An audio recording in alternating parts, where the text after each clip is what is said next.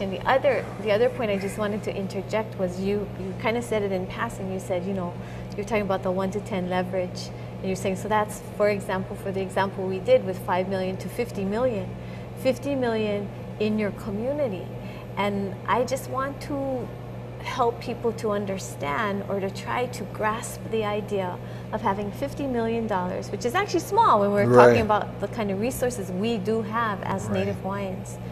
Um, in the community, being driven by Native Hawaiian voice, meaning suddenly if we don't want a hotel monopolizing our beautiful pristine beach, we don't have to right. support a hotel monopolizing our beautiful pristine beach. We can use that money to encourage our farmers or encourage lo'i development or encourage local i'a so we have fishing or fish available for the communities nearby.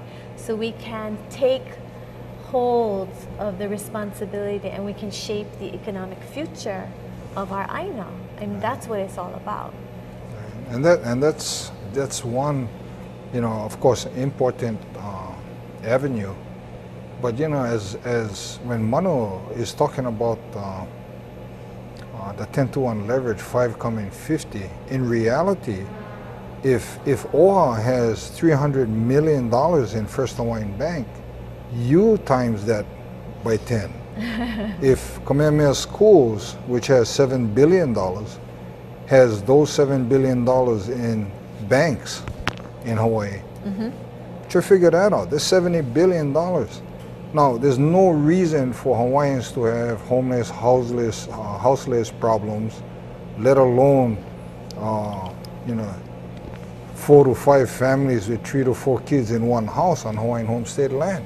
Aye. you know there's no reason for those things. And you know when it comes to development imagine now i'm talking about 7 to 10 billion dollars times 10 that could eventually and not immediately but eventually become ours to manage. You know not we, we're talking about we're talking what Manu is talking about is the social conditions and, and health and housing and education employment small business loans mortgages but even development loans you know banks let out monies to these developers that come to hawaii and develop Now, they would have to come to our bank too to find and get better interest rates Absolutely. That's right. so the banks know this, and at some point in time, um, you know, I used to think sovereignty and political status and all, all of the things that happened to us in that uh, arena was the most utmost or, or the utmost importance. And now I believe that um, we've learned enough. Um, maybe that's something that we should set aside until we can figure out the, the most um, free, fair, and impartial process for that particular avenue.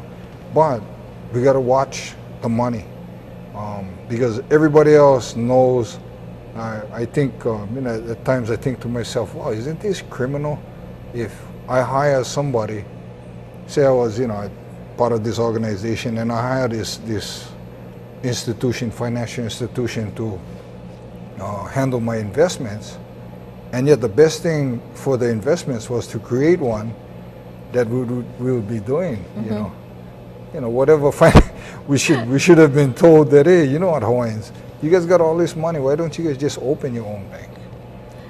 Well, there's a reason they didn't tell us that, and we Yeah. know that now. You know, it's all like just becoming aware, right? Yeah. Being educated. You were talking about your your run for the OHA seat. Um, you're going through a four-point process of the things that you're supporting, covered political, economic, and social.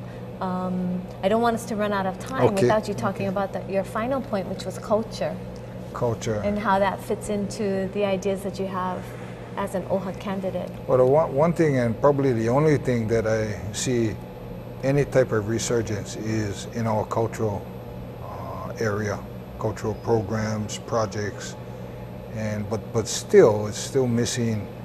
You know, um, you know, I brought up cultural sensitivity because one of my kupuna brought that up, and I, I asked her, Auntie, what what you think about? Uh, OHA stance on cultural situations, desecration, the arts, and all that. And she straight out told me that there's no cultural sensitivity over there. And I was like, oh man. And, and she's she's well known, and um, and she's uh, she's supporting me.